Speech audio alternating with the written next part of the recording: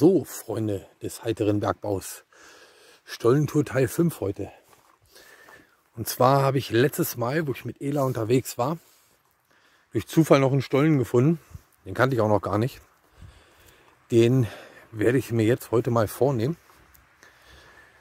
Und zwar regnet es heute mal nicht. Welch ein Wunder.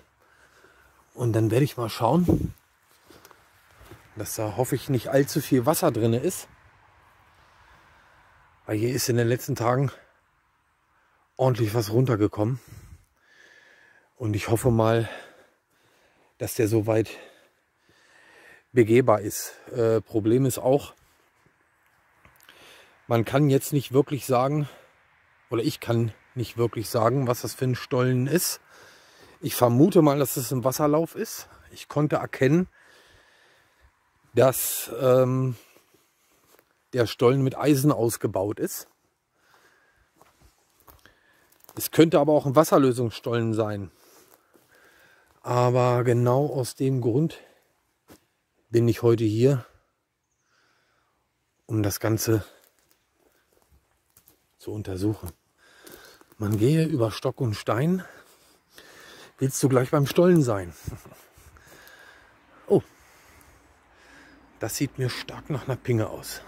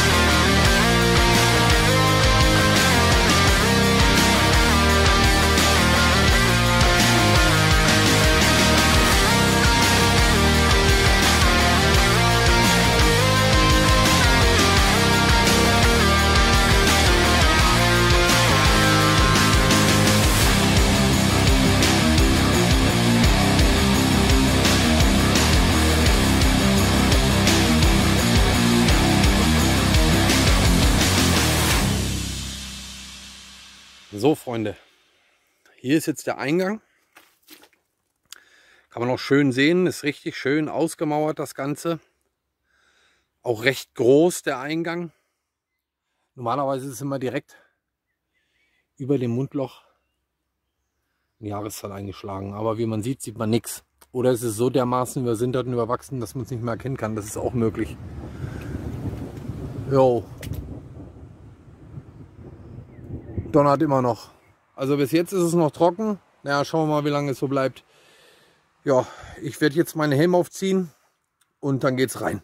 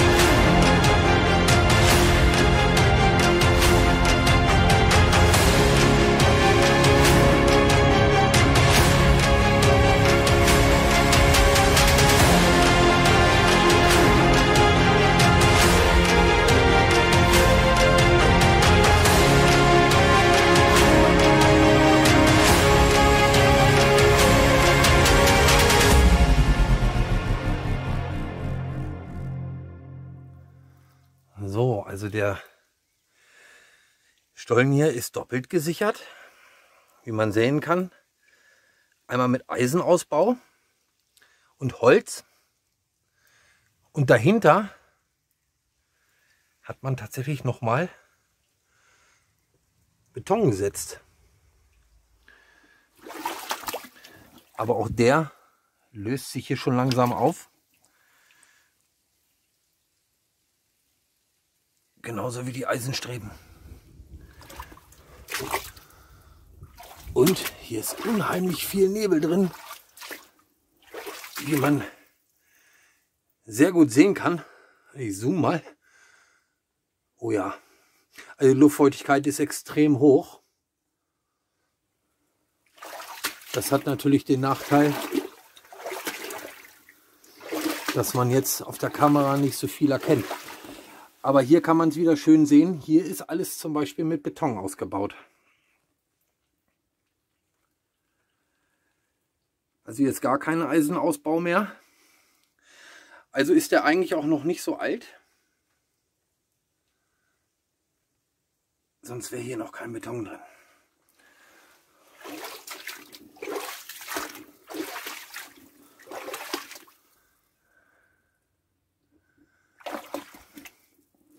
Hier lagen auch Maschinen drin. Denn die liegen hier noch. Das erklärt auch, warum der Stollen so breit ist. Also, ich schätze mal, der hat hier mindestens eine Breite. Ja, bestimmt zweieinhalb Meter. Und hier liegen noch Schienen. Wie man ja Umkehr, Umkehr ist auch gut, unschwer erkennen kann. Also fuhren hier mal Hunde durch.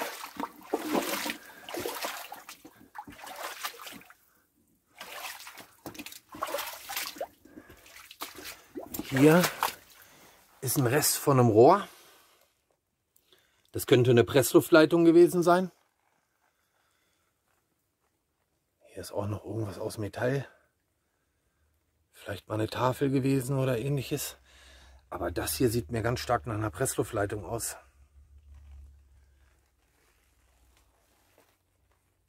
Und hier ist er auch wieder mit Bruchstein gemauert. Hier ist der nächste Rest von der Schiene.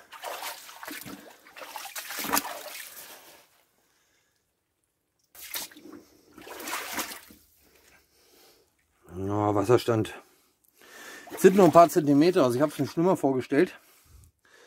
Gerade jetzt bei dem Wetter die ganze Zeit. Hier ist mal irgendwas runtergekommen. Hier liegt ein Absperrband. Überall Metallteile.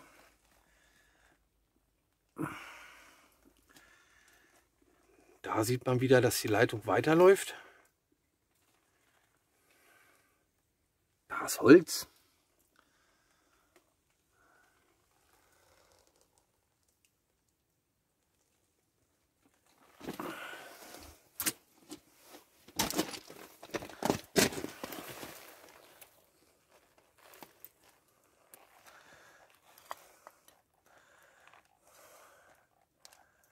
Eine Bierflasche. Die ist auf jeden Fall noch nicht alt, weil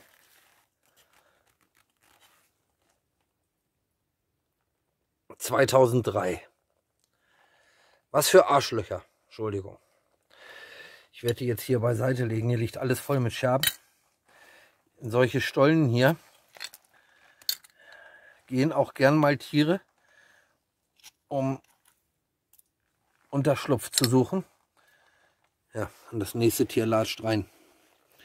Ich werde es nie begreifen, es ist ein Phänomen, warum der Mensch überall, wo er ist, seinen Dreck hinschmeißen muss. Es ist unglaublich. So, hier geht die Leitung weiter. Obwohl, nee, das sieht mir eher jetzt wieder nach einem Stück Schiene aus. Da ist auch Holz noch eingearbeitet.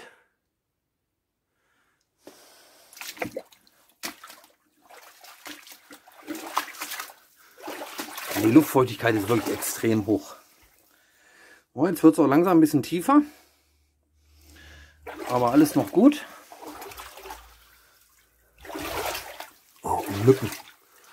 Und hier sehe ich schon, hier haben wir einen Verbruch. Da ist mal was runtergekommen.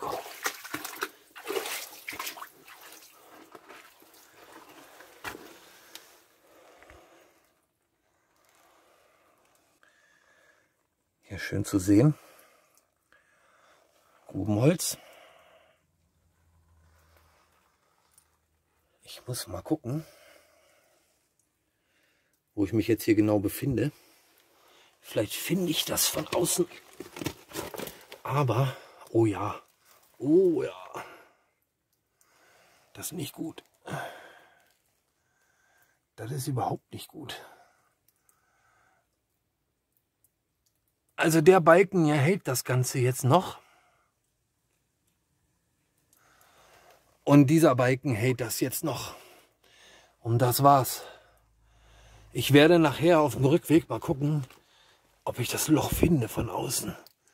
Eigentlich müsste man das sichern, wenn da einer reinkracht, der kann sich erstmal schön die Beine brechen.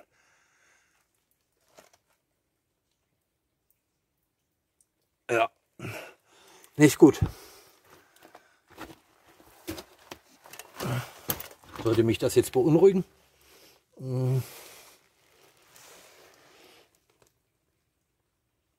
Ich würde sagen, ja. Aber es hilft ja alles nichts. So, hier geht er jetzt weiter. Und ich sehe schon, jetzt habe ich es mit Meerwasser zu tun. Und zwar schlagartig. Oh. Man sieht fast nichts durch die Luftfeuchtigkeit. So, ich gucke jetzt mal, wie sich der Wasserstand jetzt hier entwickelt. Oh ja. Ein bisschen Luft habe ich noch. Aber ich höre es auch schon. Ich weiß jetzt nicht, ob man es auf dem Video hören kann. Aber da läuft irgendwo Wasser rein. Und es ist tatsächlich so, 10 cm noch. Dann kriege ich nasse Füße.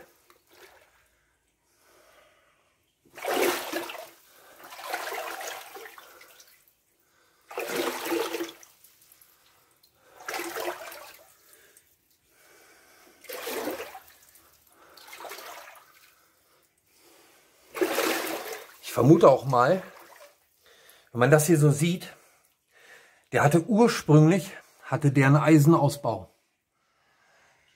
Und man hat den dann hinterher nachträglich mit Beton verstärkt.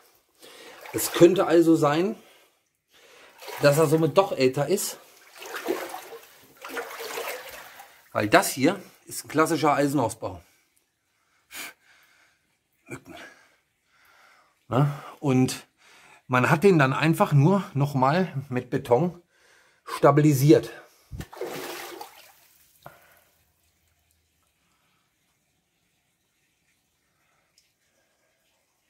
Das könnte also bedeuten, dass er tatsächlich doch älter ist. Und durch den Beton sieht er jetzt einfach jünger aus. So. Da vorne höre ich schon, wie das Wasser läuft.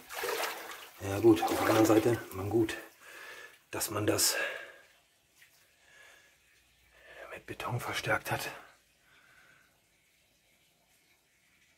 Denn das macht alles nicht mehr wirklich einen stabilen Eindruck. So und langsam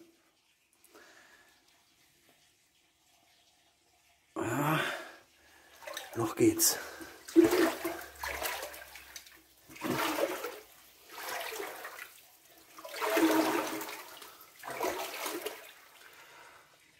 So, also der Wasserstand ist jetzt echt hoch geworden. Da vorne macht er jetzt auch einen Knick. Aber da muss ich durch. Und hier ist der nächste Verbruch. Also auf gar keinen Fall irgendwas anfassen. So, hier kann man jetzt gut sehen, dass sich hier schon der komplette Beton zerbröselt hat. Und ich bin jetzt bestimmt schon 150, vielleicht sogar 200 Meter im Stollen drin. Und hier sind immer noch Mücken, unfassbar. So, hier ist er mal abgestützt worden. Ich vermute mal fast, dass der hier gerade unter der Straße durchführt.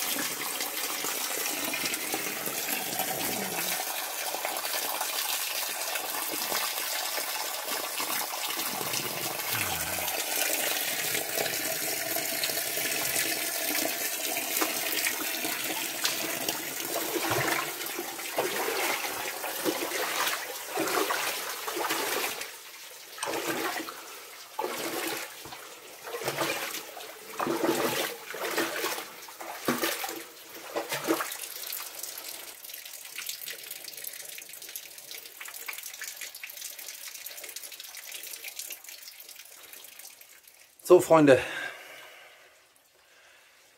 wie man sieht, hier ist jetzt endgültig Ende. Hier ist er entweder mal zugeschüttet worden oder es ist ein Verbruch.